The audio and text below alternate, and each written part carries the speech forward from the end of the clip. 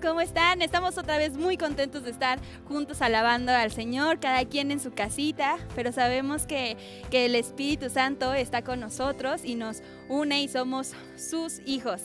Así que como sus hijos, hoy nos vamos a levantar. Levántate y sacúdete. A ver, sacúdete. No sé si te acabas de levantar, pero sacúdete. Eso. Muy bien. Hoy también nos vamos a aprender una canción nueva que está bien padre porque habla de Dios como nuestro creador. Y piensa, a ver, mm, ¿qué creó el Señor? Creó las aves, creó el mar, creó lo que hay en el mar, creó los cielos y las estrellas, el, increíble sol que vemos todas las mañanas. Él es poderoso y dice la Biblia que Él lo creó con solamente decirlo. Eso es impresionante, ¿no crees?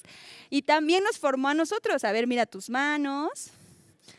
No, pues sí, quedamos súper bien, ¿no? Sí, el Señor hizo, mira, algo bien hermoso con nosotros. Así que por eso hoy vamos a cantar al Dios de la creación. Vamos a cantar a nuestro Señor. ¿va? Así que bien contentos y con el ánimo hasta arriba, ¿va? Vamos a cantar. ¿Estás listo?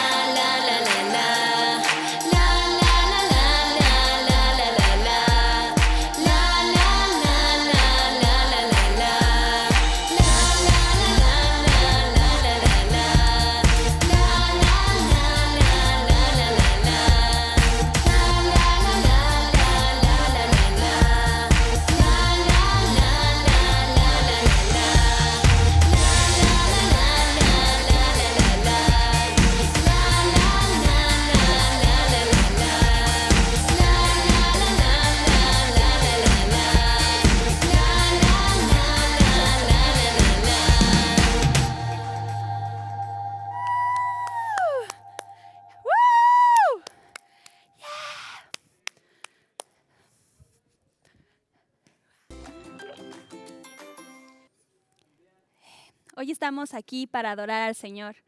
Así que te voy a invitar a que cierres tus ojos. Cierra tus ojos y vamos a, orarle al Señor, a agradecerle por todo lo bueno que Él ha sido con nosotros y por quién es Él. Padre, en el nombre de Jesús, hoy venimos tus hijos delante de ti. Venimos a adorarte, Señor, porque tú nos has salvado, Padre porque tú has derramado de tu amor en nuestro corazón y nos has enseñado el camino de la salvación.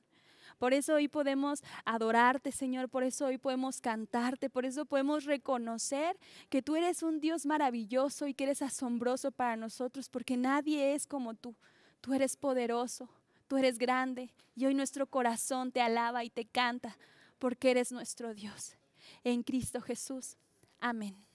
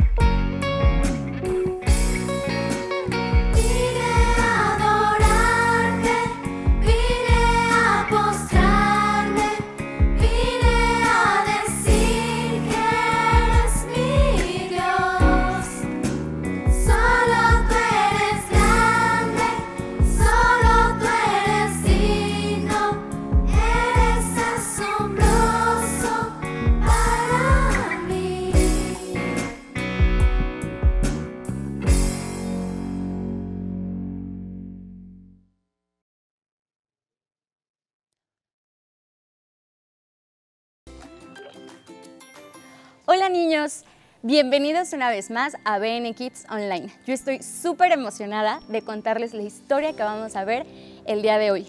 Seguro recuerdan quién es Saulo, lo vimos clases anteriores. Era un judío que era súper experto en las escrituras, pero también llegaba a ser cruel con los creyentes. ¿Te acuerdas?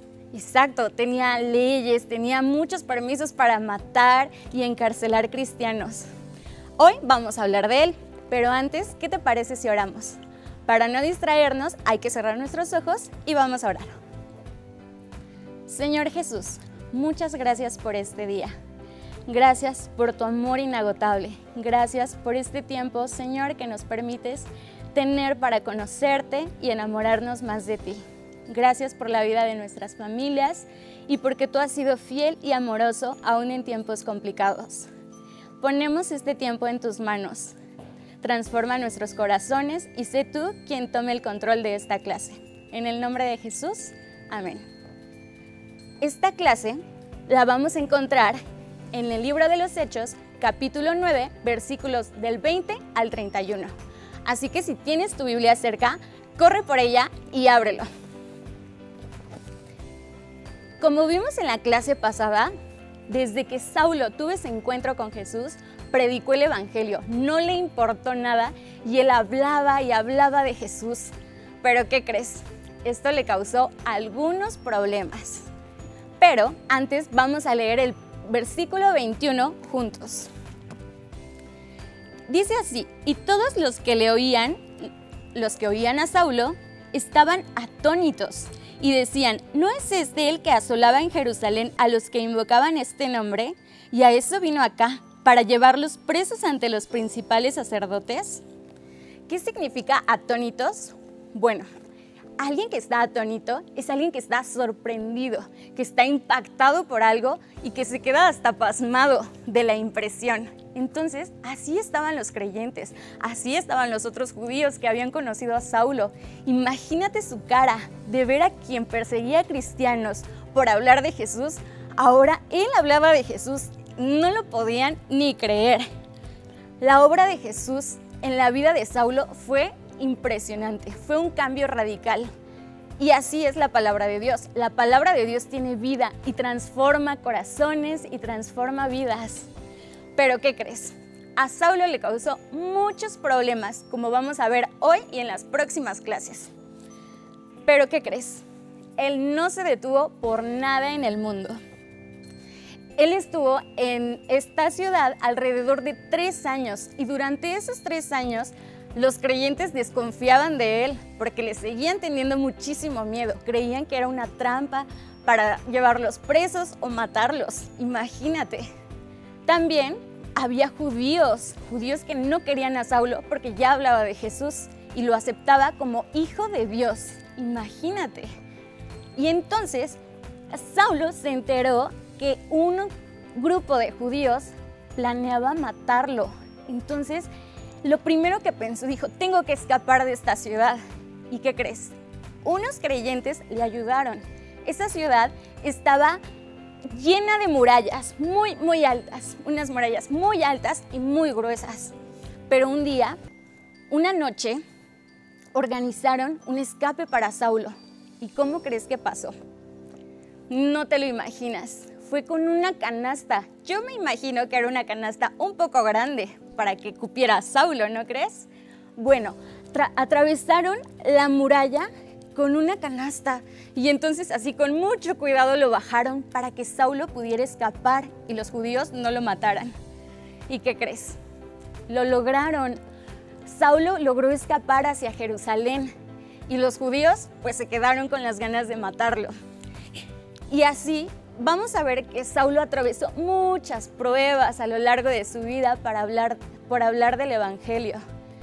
Y yo sé que a lo mejor nosotros, o es muy seguro que nosotros cuando hablemos de Jesús atravesemos esas pruebas. Quizá no nos van a matar, pero a lo mejor nos pueden molestar o nos pueden ver feo.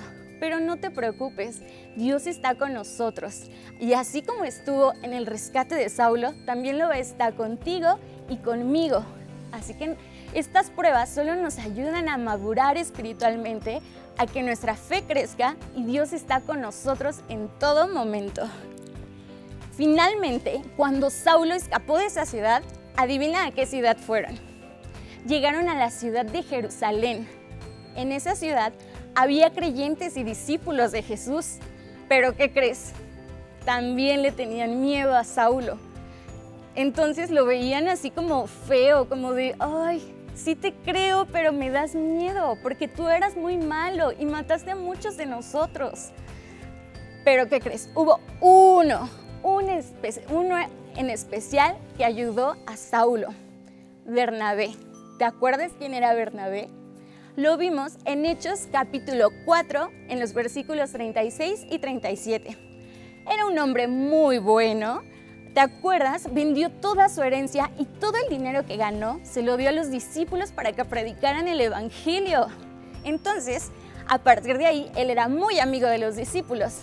Entonces vio que Saulo tenía toda la intención, porque Saulo le contó a Bernabé todo lo que había hecho en esos tres años, que era predicar el Evangelio a judíos, en las sinagogas, a todo el mundo que se le acercaba, Saulo le contaba de Jesús. Y eso fue lo que Bernabé les contó a los discípulos. Les dijo, ¿qué creen? Saulo es mi amigo y acaba de contarme un montón de cosas. Me contó cómo se encontró a Jesús y cómo Dios transformó su vida y ahora habla de Jesús a todo el mundo. Los discípulos, la verdad, se asombraron también y decían, ay, pues no lo sé, puede ser un poco falso, porque Saulo nos perseguía todo el tiempo. Y uno dijo, ay, a mí también intentó matarme, ¿cómo quieres que le crea y cómo quieres que sea mi amigo? Pero Bernabé les seguía platicando todo lo que Saulo ya había pasado en esos tres años a causa del Evangelio. ¿Tú qué hubieras hecho? ¿También te hubiera dado miedo estar cerca de Saulo? Quizá a mí un poquito, la verdad, pero Bernabé tuvo ese corazón dispuesto. Dios usó a Bernabé para incluir a Saulo como uno de los discípulos, acercarlo y que se sintiera en familia y con amigos, para que no se sintiera solo. Yo sé que a veces vamos a pasar por situaciones muy tristes o muy complicadas, pero así, tal cual, como hubo hermanos cerca de Saulo para animarlo, para ayudarlo. ¿Te acuerdas de la muralla? Eran hermanos que lo ayudaron en dificultad. Así tú también tienes hermanos en la fe que pueden ayudarte cuando tú lo necesites. Y Dios los va a usar para bendecir tu vida. Es lo importante de estar juntos como iglesia, de que no te alejes, de que tengas contacto con tus amigos de la escuelita dominical, con tus maestros y va a ser impresionante y de mucha bendición. Y bueno, para recordar esta maravillosa historia, vamos a hacer una manualidad que está increíble. Yo sé que te va a quedar súper bien y si la subes a Instagram, no olvides etiquetarnos. Nos va a hacer muy feliz verla. Ahí nos vemos. Hola niños, ¿cómo están? Ay, esta clase está increíble, ¿no lo creen? Bueno, pues vamos a hacer nuestra manualidad. Se las voy a enseñar. ¿Ustedes como qué se imaginan que, de que sea la manualidad? Miren, se las voy a enseñar. Ustedes dirán, ay, ¿qué es eso? ¿Es un barco qué? Pero no, vean. Es una canasta y no es cualquier canasta. Es la canasta por donde bajaron a Pablo cuando escapó. Muy bien, pues vamos a empezar. Esta manualidad está muy padre, ¿no creen? Vamos a empezar. Está súper sencilla. Vamos a necesitar un plato, pero no un plato de esos que usan para comer todos los días de vidrio, no. Va a ser un plato, puede ser de cartón, puede ser de, de unicel. En este caso yo voy a usar uno de unicel porque fue el que encontré en mi, clase, en mi casa. Miren, es este plato. Lo que vamos a hacer es cortarlo a la mitad.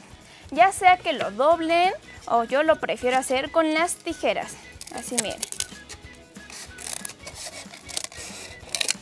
Perfecto. Solo vamos a usar una mitad, la otra la podemos guardar si queremos hacer otra manualidad. Y lo siguiente que tenemos que hacer son hoyos. Hoyos para poder pasar el lazo. Lo pueden hacer con una pluma. Así, le ponen y le hacen un hoyo así y va quedando así los hoyitos. O si tienen perforadora, pues mejor. Vean, yo la voy a hacer con una perforadora para no tardarme tanto tiempo. ¿Ya ven? Entonces vamos a ir haciendo los hoyos. Tiene que ser en la orilla, pero tampoco tan pegado a la orilla, porque si está muy pegado a la orilla se nos puede romper mientras pasamos el listón y no nos va a quedar tan padre. Muy bien, vamos a ir haciendo los hoyitos. Y mientras los hacemos, les quería preguntar, ¿qué opinan de esta clase? Ay, ¿a poco no está impresionante? O sea, hemos visto que este hombre que perseguía a los cristianos, que los perseguía no para saludarnos, no para platicar con ellos, sino para matarlos. Este hombre que nosotros podríamos decir, uy, no, esta persona es la persona más horrible que he conocido. Dios la usó. Dios no le importa nuestro pasado, porque nos puede cambiar así como lo hizo con Saulo. Muy bien, una vez que tiene hoyitos, vamos a pintarla. Miren, este, el, plato está así, va a ir volteado. Vamos a pintarlas. Yo les recomiendo que lo pinten con pinturas. Y como se iba a ser muy tardado, ya traigo esta pintada. Después vamos a necesitar, puede ser listón, puede ser estambre o incluso hasta una agujeta de un tenis que ya no usen. Vean, este es el listón, tiene que estar algo largo. Entonces vamos a agarrar nuestra orillita de listón y la vamos a ir metiendo por los hoyos, pero tienen que tener mucho cuidado. Esto puede ser un poco tardado, ustedes podrían decir que un poco aburrido, pero se van a dar cuenta que el resultado de la manualidad va a ser increíble. Tanto que se la van a querer enseñar a todos, a todos, a todos y de así les van a poder ir contando la historia que aprendimos el día de hoy. Bueno, como nos dijo la maestra Ingrid, este Saulo, desde el primer momento en el que recibió a Jesús en su corazón, no lo dudó ni un momento para empezar a hablar de Dios, para empezar a predicarles a las personas que no creían acerca del increíble sacrificio que hizo Dios al enviar a su Hijo Jesús a morir por nosotros. Es increíble, ¿no? Ese cambio tan radical es el que debe de haber en nuestras vidas cuando recibimos a Jesús, porque es un, un nuevo nacimiento. No es que nos metamos en la panza de nuestra mamá otra vez.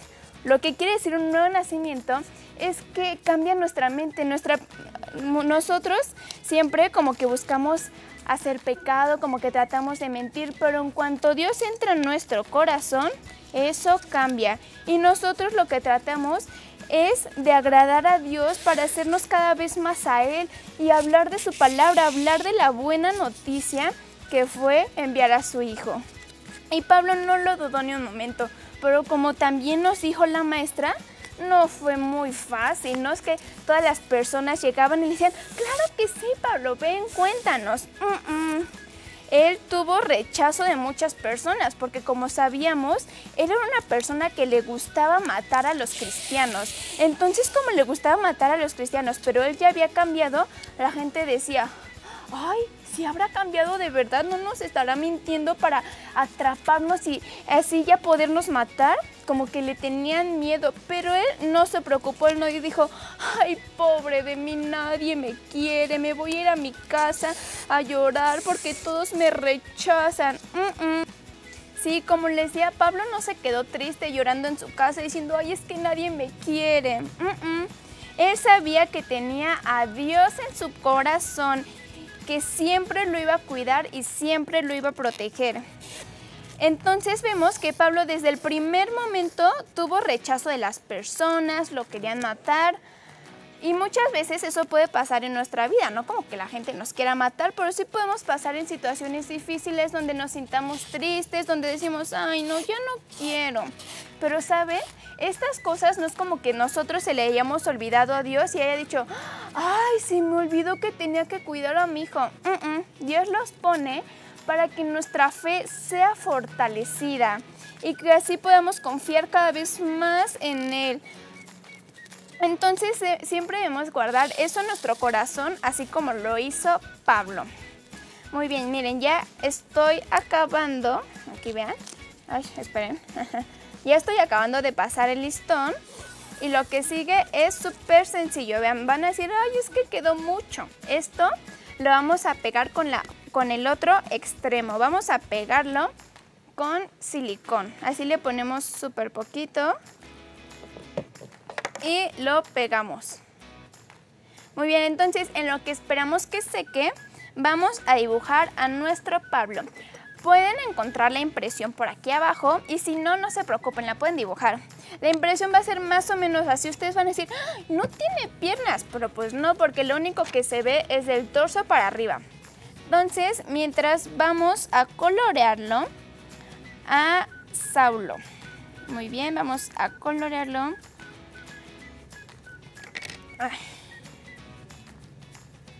Y su ropa también porque... también la pueden dejar blanca si quieren, pero se vería más bonito si le ponemos color, ¿no creen? Exacto, vamos a ponerle color. Bueno, entonces sigamos platicando en lo que coloreamos y cuando la terminemos de colorear vamos a recortar, ¿sale? Bueno, les estaba diciendo que este Pablo siempre tuvo la protección de Dios, él no le importaba Aparte, como era una persona súper inteligente, ¿saben con quién tomó clases? ¿Quién, les ¿Quién le enseñó acerca de la Biblia? Fue un hombre llamado Gamaliel. Este Gamaliel era una persona, un maestro de la ley que sabía muchísimo, muchísimo. Era considerado como uno de los más grandes maestros de la ley. La ley es la Biblia, el Antiguo Testamento. Entonces, como él sabía mucho, él estaba seguro de que podía ir a las sinagogas que había por ahí ir a, ir a hablar. Entonces primero no llegaba y le decía, oh, lo que estás diciendo es incorrecto. No, él, él, les hablaba con amor, escuchaba lo que les decían y él a partir de lo que ellos decían les hablaba acerca de Dios y les decía que Dios no, que Dios mandó a su hijo. Y no lo mandó pues nada más porque quisiera, sino lo mandó por amor para morir por nosotros, porque nosotros siempre cometemos pecados porque somos unas personas pecadoras desde que nacemos. Entonces, este Dios envió a su Hijo Jesús para que limpiara todos, todos nuestros pecados y así saben qué, poder conocer a Dios. Y también cuando sabía que cuando ya no estuviéramos en esta tierra íbamos a estar en la eternidad con Él. qué increíble, ¿no? ¿Qué, ¿Qué cosa hay mejor que eso? Nada. Muy bien, una vez ya que está nuestro Pablo dibujado, vamos a pegarlo. Igual puede ser con, con o puede ser con silicón. Yo lo voy a hacer con silicón porque creo que pega mejor. Vamos a pegarlo. Ay, Perfecto. Así es como quedó nuestra manualidad. Entonces ya con esta manualidad la podemos colgar, la podemos enseñar a nuestros amigos, a nuestra familia y contarles esta increíble historia y de lo que Dios hizo en la vida de Pablo y que eso mismo puede hacer en nosotros, ¿sale? Mientras vamos a orar. Ay Dios, muchas, muchas gracias Padre porque nos permites conocer cada día un poco más de ti Señor y que esto que aprendamos no solo se quede guardado en nuestra mente Señor, sino que llegue a nuestro corazón y que lo vivamos día con día Señor. Esto te lo pedimos Padre en el hermoso nombre de Cristo Jesús. Amén. Muy bien. Bueno, pues hasta aquí está la clase, pero recuerden que ya estas clases pronto se van a acabar, pero no se pongan tristes porque vamos a tener clases por Zoom. Entonces, pueden registrarse, ya vamos a ir viendo cómo lo hacemos, ¿sale? Bye. Hola amigos, este es el versículo que nos aprenderemos de Benica Challenge. Es Hechos 9:21, que dice así, y todos los que lo oían decían, ¿no es este el que asolaba en Jerusalén a los que invocaba este nombre? Y a eso vino acá para llevarse los presos ante los principales sacerdotes. No olvides subir tu video y etiquetarnos con el hashtag Challenge. Síguenos en Instagram. Adiós. Hola, ¿ya tuviste la oportunidad de conectarte con nosotros en Zoom? Si no te has conectado, todavía puedes registrarte. Hoy estuvo increíble la clase. Recuerda que pronto dejaremos de subir las clases como ahorita la estás viendo y solo se va a quedar el Zoom. Así que es súper importante para que no te pierdas nada del maravilloso libro de los hechos, es súper importante que te registres. Te voy a recordar las formas de registrarte. La primera es en la mesa de Bene Kids que está en tu iglesia. La segunda es por los teléfonos de la oficina de tu iglesia, que aquí van a aparecer en la pantalla. También puedes registrarte a través del link que vamos a poner aquí abajo o en nuestro Instagram, para que no tengas ningún pretexto, porque en serio te queremos ver ahí. Nos vemos.